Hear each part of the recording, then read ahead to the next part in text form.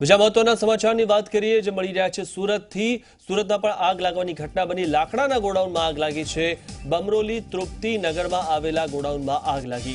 ત્રણ ફાયર સ્ટેશનના કર્મચારીઓ પહોંચ્યા છે ઘટના સ્થળે, તો આગ બુઝાવવા કવાયત શરૂ કરી છે.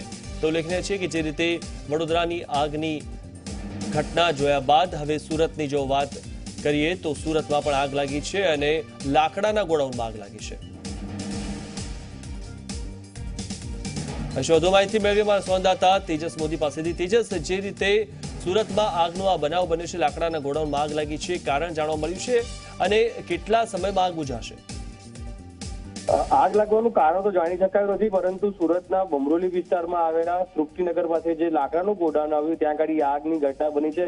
આગની ઘટનાની ઘટના બનતાની સાથે જ ફાયર બ્રિગેડને જાણ કરવામાં આવી હતી. સ્થાનિક લોકો દ્વારા ફાયર બ્રિગેડના ત્રણ સ્ટેશનની લગભગ આઠથી દસ ગાડીઓ ઘટના સ્થળે પહોંચી છે અને હાલ આગને બુઝાવવાની કામગીરી શરૂ કરવામાં આવી છે. આ વિસ્તારની જે ઘણા બધા લાકડાના ગોડાઉન આવે છે તેમાંથી એક ગોડાઉનમાં આગ લાગી છે.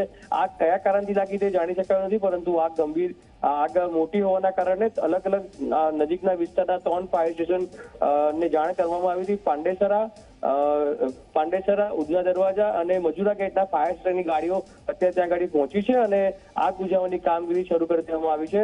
લાસ્ટ જે ફાયર બ્રિગેડની ટીમનું કહેવું છે કે જલ્દીથી આગ પર કાબુ મેળવી લેવાશે, પરંતુ જે કુલિંગની કામગીરી એ આખી રાત ચાલે તેવી શક્યતા વ્યક્ત કરવામાં આવી છે. જી જી. આભાર તેજસ માહિતી આપવા બદલ. તો ત્રણ ફાયર ફાઇટર હાલમાં આગ પર કાબુ મેળવવા માટે કાર્યરત છે.